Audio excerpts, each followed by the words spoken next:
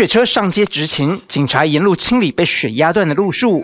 十月九号开始，大陆北方从内蒙古、山西、陕西到甘肃、宁夏，单日降温超过摄氏十度。晚上变得非常冷。我们根据这个天气情况，及时的把公路是修那个啥修理好。现在已经开始从昨天晚上开始投入运行。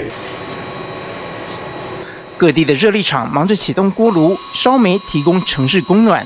问题是温度上来了，但这对于已经疲于应付工业及民生用电的煤炭供应而言，无疑是雪上加霜。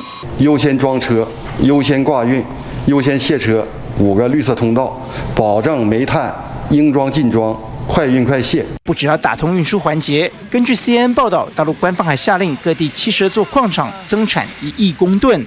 不料，最重要的产煤大省山西，又因为水患导致六十座矿场关闭。Many analysts, including City, are still saying that this energy crunch is going to continue and it could require a 12% cut in industrial power use in the fourth quarter.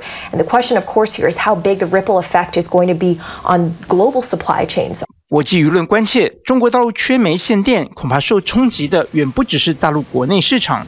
不过，大陆官方宣布紧急调度之下，现在大陆各地煤炭储备低于七天的火力电厂，已经比九月底少了百分之九十。